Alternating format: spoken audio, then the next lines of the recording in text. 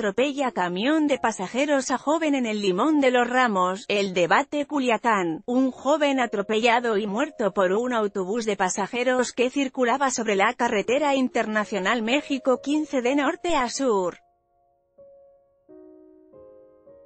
El chofer de la unidad no pudo percatarse de la presencia del joven sobre la carretera y lo embistió quitándole la vida en el lugar. Foto el debate El conductor se dio a la fuga.